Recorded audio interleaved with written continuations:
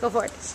Uh, my name is Gilbert Esquerdo, uh, Sergeant, U.S. Army, uh, Honorable Discharge. I just want to thank Patriots and Paws for uh, donating all this furniture for uh, our house. You know, we had an empty house, but uh, it means a lot.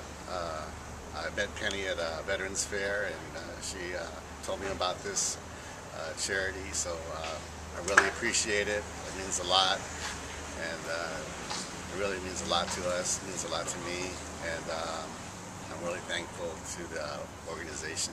I always uh, appreciate it, and always uh, have good, you know, um, positive stuff to say about this organization. I could, uh, I don't know what I would do without them, and uh, thank you.